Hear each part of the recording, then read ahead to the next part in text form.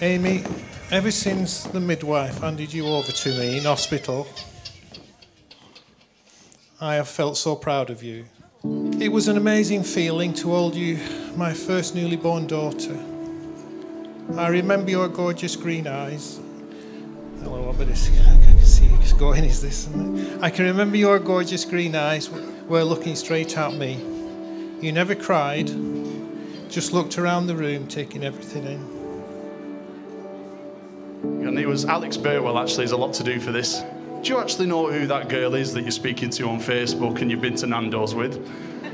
I said, uh, no, I think she's just, you know, she's just a barmaid that brought me a pint a few weeks ago. I was like, well, uh, she kind of owns the place, so don't mess it up. I really enjoy coming back here, so you know, play it cool. And I think, you know, I think I'm doing okay. But uh,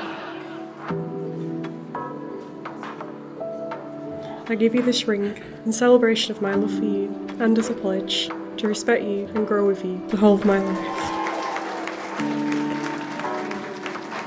A big thank you really has to go to Irene for helping out with, with the speech. Uh, she's provided a couple of pictures for us. So the first being um, a baby picker Luke.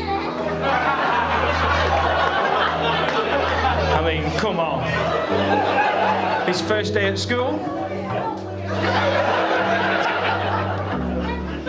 And she got me a picture of his first day of secondary school.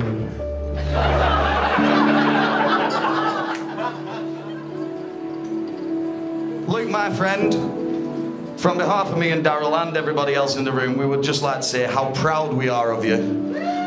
You've come through some struggles, hard times, and you've turned into a, such a fantastic guy. And by far, your greatest achievement in life has got to be that.